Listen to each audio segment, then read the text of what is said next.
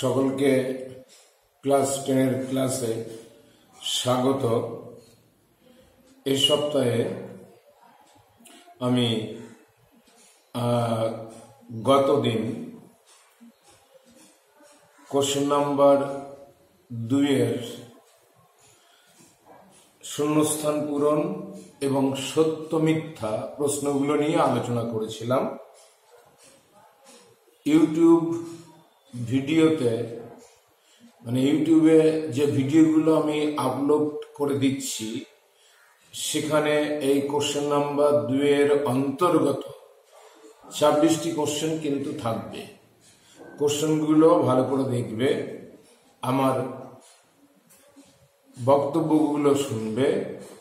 আমি যে কোশ্চেন এবং অ্যান্সার নিয়ে আলোচনা করছি, এই বিষয়ে তোমাদেরকে অবগত করে আজকে শুরু করছি দুইয়ের তেরো দাগের কোশ্চেন দেখো, দুইয়ের তেরো থেকে আঠারো পর্যন্ত তোমাদের যে প্রশ্নগুলো উত্তর করতে হয়, দুটো সাইড থাকে লেফট এবং রাইট বাম স্তম্ভ এবং ডান স্তম্ভ থাকে। এই দুটো স্তম্ভের মিল করে লিখতে হয়।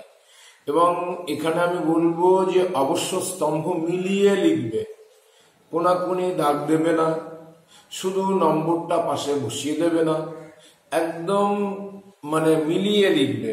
যেমন আমি এখানে বলছি, দুইয়ের তেরোতে রয়েছে লেডিগের আন্তর্কোষ। লেডিগের আন্তর্কোষ, তাহলে লেডিগের আন্তর্কোষ মানে শুক্রাশয়।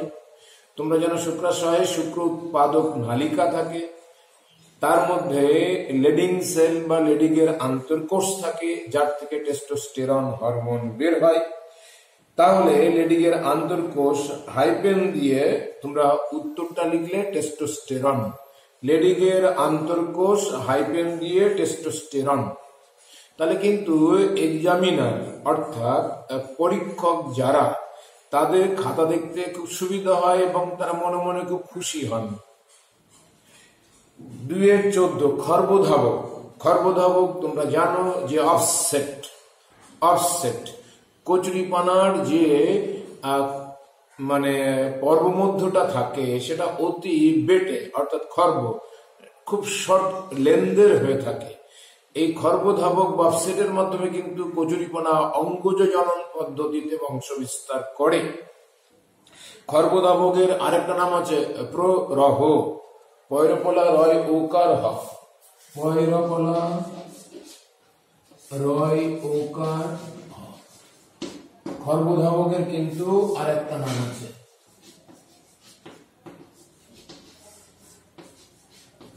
খর্বধাবক খর্বধাবকের কিন্তু আরেকটা নাম আছে পুরহ বা ইংরেজিতে আবার অফসেট বলা হয়, অফ সেট। অফসেট বলা হয়। ইংরেজিতে অফসেট বলা হয়। তা এই খর্বধাবক কচুরিপানাতে দেখা যায়, তাহলে কি হবে? খর্বধাবক হাইপেন দিয়ে ডান দিকে কচুরিপানা।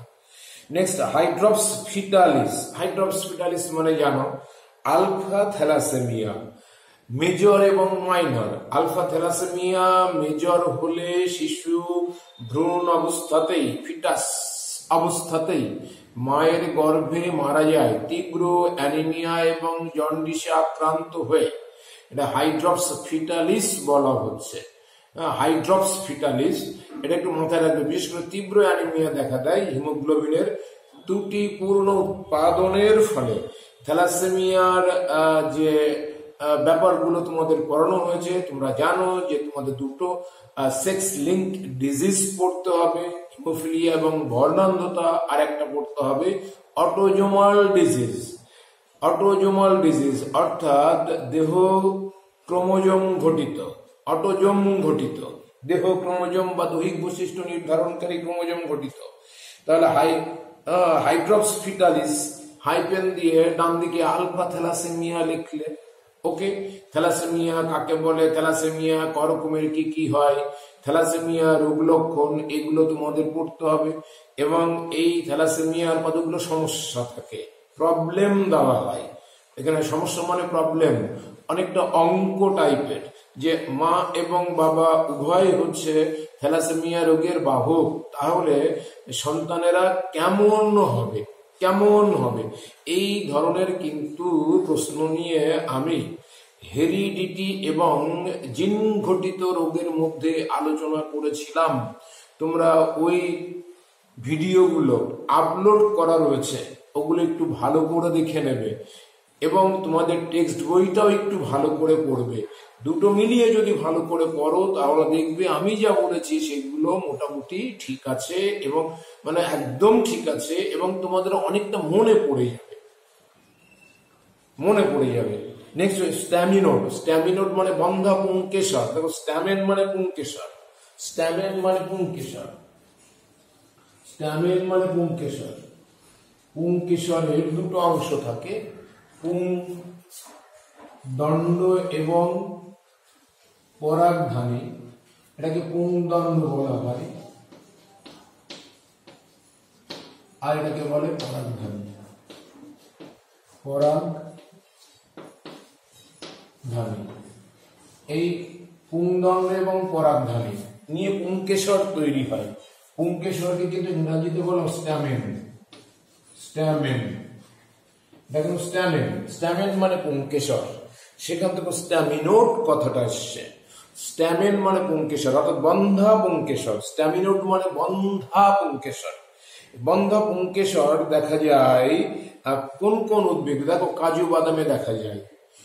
কলা ফুল গাছে দেখা যায়। এখানে কলা ফুল গাছ মানে হচ্ছে কলাবতী ফুল যাকে আমরা সর্বজয়া বলে থাকি। ব্যানানা নয় কিন্তু এটা। এটা ক্যানা ইন্ডিকা। ক্যানা ইন্ডিকা বিজ্ঞানসম্মত নাম। বাংলায় আমরা কলা ফুল গাছ বলে থাকি। খুব বেশি হাইটের হয় না। ম্যান হাইট ম্যাক্সিমাম হতে পারে। হ্যাঁ, খুব বেশি হলে তিন থেকে পাঁচ ফুট পর্যন্ত হাইট হয়। ফুলগুলো তোমার গেরুয়া কালারের অথবা হলদে কালারের হয়ে থাকে। এবং এখানে কিন্তু কলা আদৌ ফলে ফলে না। কিন্তু নাম দেওয়া হচ্ছে কলাবতী উদ্ভিদ কলাবতী ফুল গাছ সর্বজয়া। ইংরাজিতে কি বললাম? Canna indica. এখানেও কিন্তু তোমার বন্ধা পুঙ্কেশ্বর দেখা যায়। এমনকি কালোকা সন্ধ্যা কালোকা সন্ধ্যা অর্থাৎ ক্যাসিয়া সফেরা বলে লেগুমিনোসি গোত্রের উদ্ভিদ আছে। এটা বনে বাজারে বেশিরভাগ জন্মায়। এই যে কালোকা সন্ধ্যা কাজু বাদাম, তারপরে তোমার হচ্ছে মানে কলাবতী ফুল গাছ, এদের যে বন্ধা পুঙ্কেশ্বর সেগুলোকে বলা স্ট্যামিনোড। এটা নিষ্ক্রিয় অঙ্গ, উদ্ভিদের ভেস্টিজিয়াল অর্গান বা নিষ্ক্রিয় অঙ্গ। যদি গর্ভকেশর হতো, তাহলে পিস্টিলোড হতো, পিস্টিলোড পিস্টিলোড, পিস্টিল। থেকে কথাটা আনা হয়েছে। পিস্টিল মানে গর্ভকেশর। সেখান থেকে পিস্টিলোড কথাটা আনা হয়েছে? তা এই যে স্ট্যামিনোড কথাটা যেহেতু এখানে দিয়েছে, তাহলে কাজু বাদাম হবে। কাজু বাদামে কিন্তু বন্ধা পুঙ্কেশ্বর থাকে। স্ট্যামিনোডের তাহলে এক্সাম মানে উদাহরণ উত্তরটা হবে কাজু বাদাম।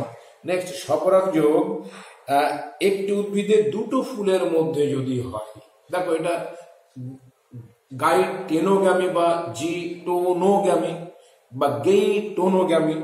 একই গাছের একই ফুলের মধ্যে যদি সপরাগ যুগ হয়, তাকে বলে অটোগ্যামি মাইন্ডেড একই গাছের একই ফুলের মধ্যে যদি সপরাগ যুগ হয়, তাকে বলা হয় অটোগ্যামি। আর একই গাছে দুটো একই মানে একই গাছের দুটো ফুলের মধ্যে যদি পরাগ মিলন হয়, তাকে বলা হবে গেইটোনোগ্যামি। মনে করা যাক, এ একটি ফুল গাছ, তার মটর ফুল গাছ, ধরা যাক। তার দুটো ফুল হয়েছে ফুল ওয়ান এবং ফুল টু। ফুল ওয়ান এবং ফুল টু এর মধ্যে যে ইতর পরাগ যোগ, সেটাকে আমরা বলে থাকছি সপরাগ যোগ। তাকে আমরা বলে থাকছি গেইটোনোগ্যামি গেইটোনোগ্যামি আর একই ফুলের মধ্যে যদি হতো, তাহলে এটাকে আমরা বলতাম অটোগ্যামি। অটো মানে নিজের, নিজস্ব, অটোনোমাস। সেখান থেকে অটোগ্যামি। এবং গেইটোনোগ্যামি দুটোই কিন্তু স্বপরাগযোগের ভাগের মধ্যে পড়ে যায়, একটু মাথায় রাখবে। ইতর পরাগযোগকে অন্য কথায় বলা হয় অ্যালোগ্যামি। ইতর পরাগযোগকে অন্য কথায় বলা হয় অ্যালোগ্যামি। অ্যালোগ্যামি। অ্যালোগ্যামি, এটা একটু মাথায় রাখবে। নেক্সট চলে যাই নাম ডাফা নাম ডাফা নামডাফা। এই নামডাফা নিয়ে একটুখানি আলোচনা করি। দেখো, রেড পান্ডা এটা একটা বিপন্ন প্রজাতির প্রাণী এবং এই রেড পান্ডা কিন্তু অ্যাকচুয়ালি সিকিমের হ্যাঁ সিকিমে খুব ভালো পরিমাণে এটা দেখা যায়। আমাদের দার্জিলিং অঞ্চলে প্রচুর পরিমাণে দেখা যায়। ওদিকে অরুণাচল প্রদেশেও কিন্তু বেশি পরিমাণে দেখতে পাওয়া যায়। এই যে রেড পান্ডা কিন্তু বিপন্ন প্রজাতি, এদের সংখ্যা ক্রমশ কমে যাচ্ছে এবং সেগুলো আমি আলোচনা করেছিলাম। অরুণাচল প্রদেশে পাওয়া যায় নাম ডাফা নামক অঞ্চলে। ওখানে একটা পার্ক আছে, বনভূমি আছে। আমাদের কাঞ্চনজঙ্ঘা হ্যাঁ আমাদের দার্জিলিং এ সিঙ্গালীলা ন্যাশনাল- পার্ক রয়েছে, এখানেও পাওয়া যায়। তারপরে তোমার হচ্ছে কাঞ্চনজঙ্ঘাতেও কিন্তু পাওয়া যায়। এই উত্তর পূর্ব, বিশেষ করে পূর্ব ভারতের বনভূমিতে কিন্তু রেড পান্ডা একটু বেশি দেখা যায়। এখানে প্রচণ্ড বাঁশ জাতীয় গাছ বেশি পরিমাণে জন্মায়। ওই বাঁশ গাছের কচি পাতা এবং কচি কচি ডালগুলো এদের প্রিয় খাদ্য। এই রেড পান্ডা সংরক্ষণের জন্য কিন্তু বিখ্যাত জায়গা হচ্ছে নামডাফা অফ অরুণাচল প্রদেশ। অরুণাচল প্রদেশের নামডাফা, এটা একটু মাথায় রাখবে। তাহলে নামডাফা যেহেতু দিয়েছে, তাহলে কি হবে? রেড পান্ডা হবে এখানে উত্তর।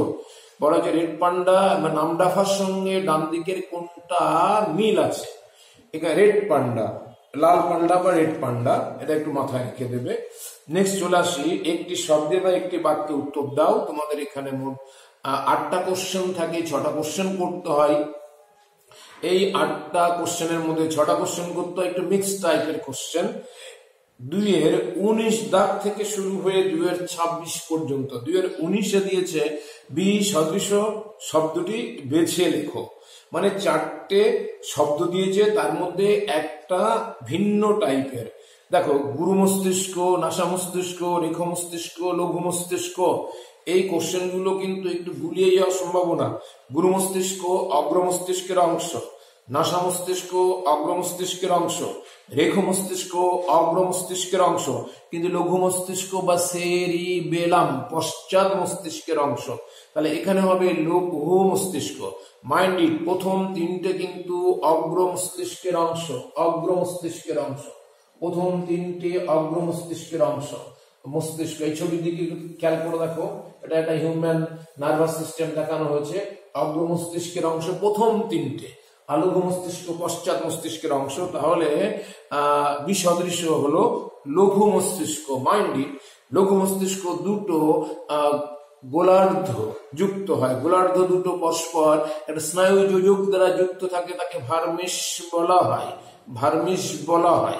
এবং এই লঘু মস্তিষ্ক ইংরাজিতে বা সেরি বেলাম বলা হয়।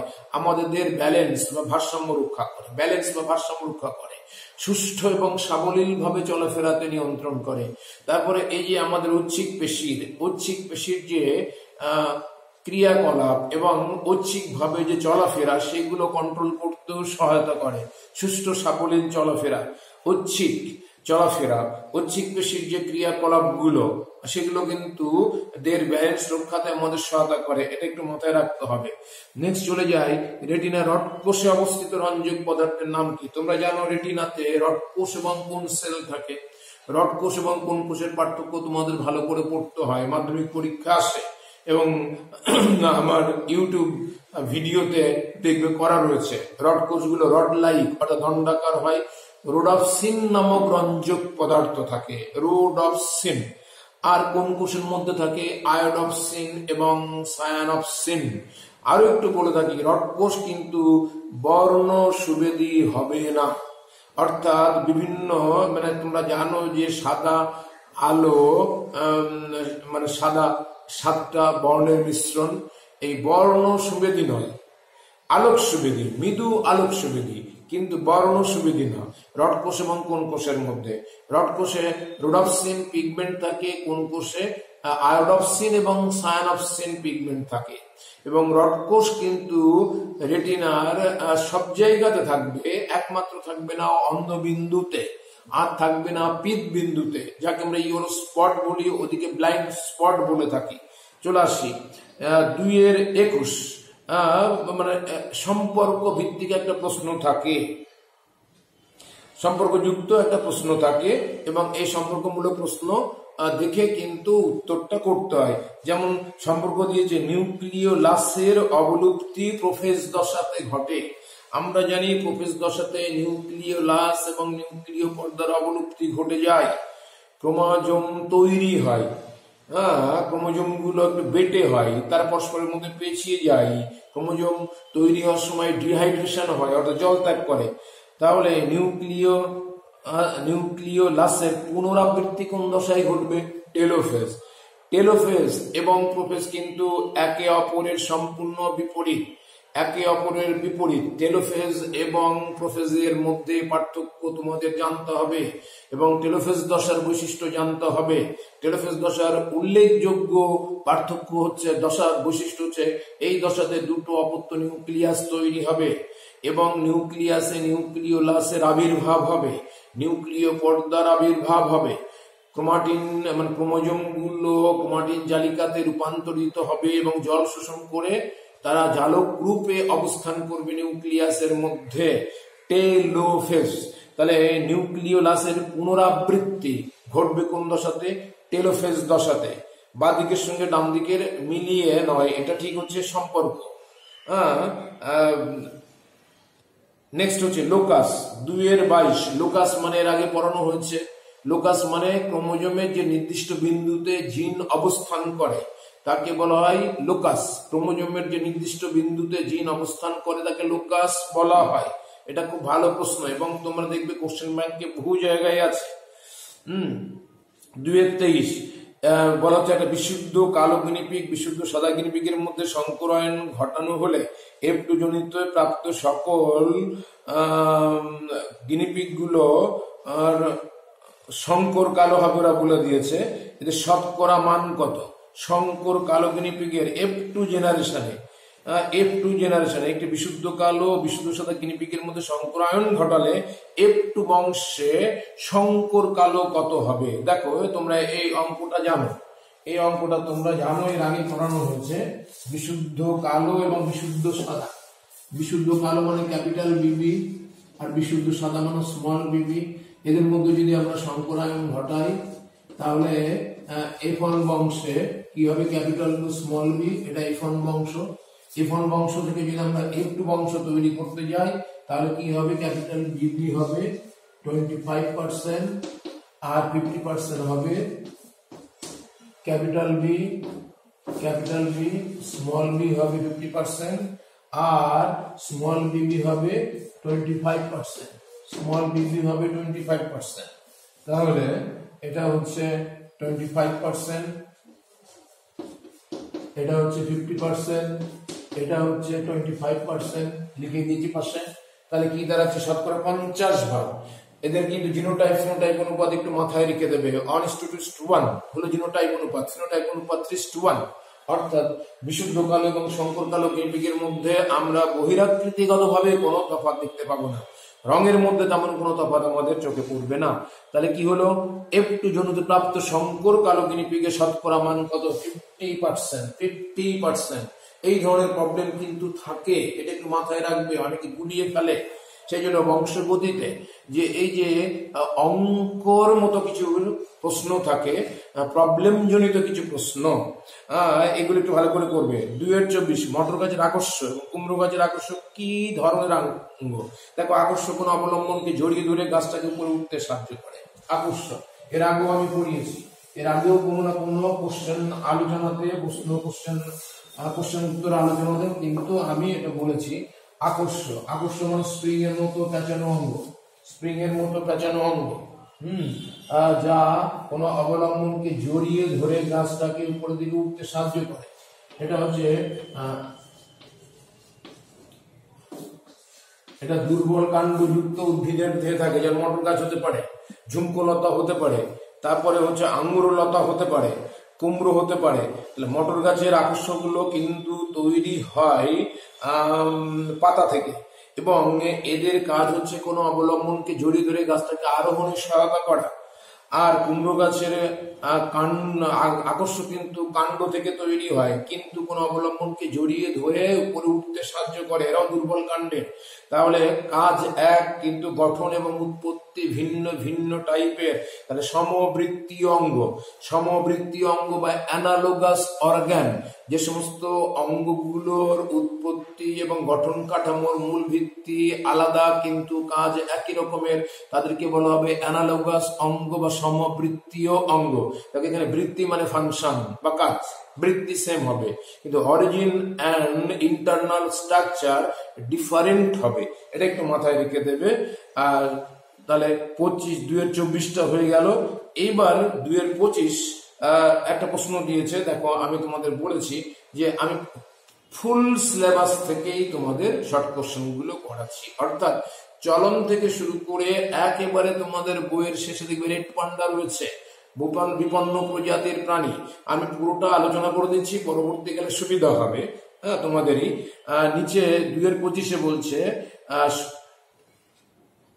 তিনটে বিষয়, একটি বিষয়ের অন্তর্গত, একটা প্রশ্ন প্রতিবারই থাকবে, দেখবে। তিনটে বিষয়, একটি বিষয়ের অন্তর্গত, সে একটি বিষয় কি সেটা উল্লেখ করতে হবে। দেখো, শক্তির বিকল্প উৎস, ব্যবহার। বিকল্প আয়ের উৎস জীব বৈচিত্র্যের সুরক্ষা জয়েন্ট ফরেস্ট ম্যানেজমেন্ট দেখো জয়েন্ট ফরেস্ট ম্যানেজমেন্টের মাধ্যমে কিন্তু জীববৈচিত্র্যের সুরক্ষা। তাহলে জীববৈচিত্র্যের যদি আমরা সুরক্ষা করতে যাই, শক্তির বিকল্প উৎস ব্যবহার, বিকল্প আয়ের উৎস জীববৈচিত্র্যের সুরক্ষা joint forest management joint forest management কিন্তু এদের উত্তর হবে। জয়েন্ট ফরেস্ট ম্যানেজমেন্টের মাধ্যমে কিন্তু আমরা শক্তির বিকল্প উৎস ব্যবহার করতে পারি। বিকল্প আয়ের উৎস খুঁজে বেড়াতে পারি। জীব বৈচিত্র্যকে সুরক্ষা করতে পারি।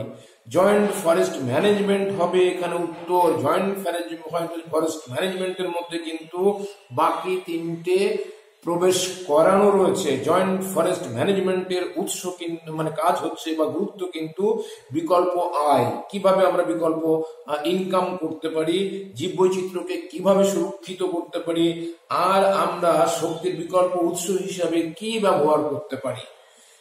এই তিনটে কিন্তু জয়েন্ট ফরেস্ট ম্যানেজমেন্টের অন্তর্গত। সবশেষে ক্রায় সংরক্ষণের একটি উদাহরণ দাও।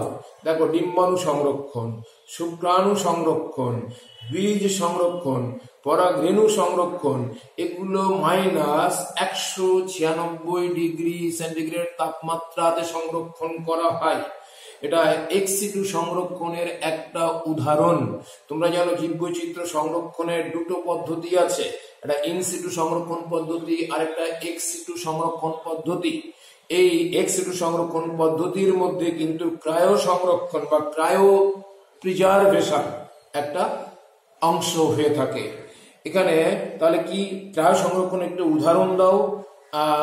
মানে শুক্রাণু ব্যাংকে শুক্রাণু সংরক্ষণ। ডিম্বাণু ব্যাংকে ডিম্বাণু সংরক্ষণ, পরীক্ষাগারে পরাগ রেণু সংরক্ষণ, পরীক্ষাগারে বীজ সংরক্ষণ। এইগুলো তোমাদের দুইয়ের ছাব্বিশটা কোশ্চেন থাকে, সবই আমি আজ আলোচনা করে দিলাম। এই দুটো ক্লাসের মাধ্যমে তোমাদের কোশ্চেন নাম্বার দুইয়ের ছাব্বিশটা শেষ হলো। তোমরা এই ভিডিওটা ভালো করে দেখবে শুনবে এবং মনে রাখার চেষ্টা করবে। আমার ধারণা এইভাবে এগিয়ে গেলে অনেক সুবিধা হবে। আমি সিলেবাস শেষ করে দিয়ে রিভিশন করেছি। সপ্তাহে অন্তত তিনটে থেকে পাঁচটা করে এরকম ভিডিও আমি আপলোড করে দেবো। দেখলে আমার ধারণা তোমাদের অনেক কাজে লাগবে, মাধ্যমিক পরীক্ষাতে তোমাদের অনেক সুফল আসবে। সকলকে অনেক অনেক ধন্যবাদ জানিয়ে আজ এখান শেষ করছি। সবাই খুব ভালো থেকো, সুস্থ থেকো।